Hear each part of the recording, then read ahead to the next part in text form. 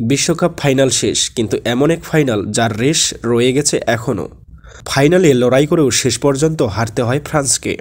ফরাসি দলটি এই সত্য মেনে নিলেও ভক্তরা যেন মানতে পারছেন না। তেমনই এক নতুন খবর এবার আলোচনায়।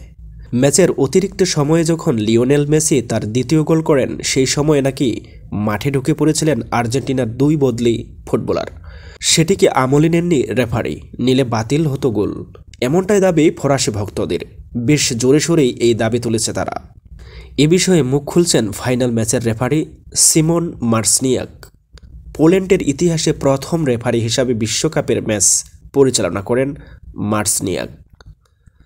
দেশে ফিরলে তাকে বরণ করে নেয়ার পাশাপাশি দেয়া হয় সংবর্ধনা। মার্সনিয়াকের শহর প্লোকের মেয়রের কার্যালয়ে তাকে এই সংবর্ধনা দেয়া হয়। সেখানে গণমাধ্যমের মুখোমুখি হয়ে তিনি বলেন, যে দাবি তোলা হয়েছে, মাঠে ফুটবলার ঢুকে যাওয়ার, এর প্রেক্ষিতে আমি আরেকটি কথা বলব। যা হয়তো ফ্রান্স সমর্থক ও গণমাধ্যমের চোখ এড়িয়ে গেছে। কিলিয়ান এমবাপ্পের একটি গোলের সময় ফ্রান্স দলের সাতজন ফুটবলার মাঠে ঢুকে পড়ে।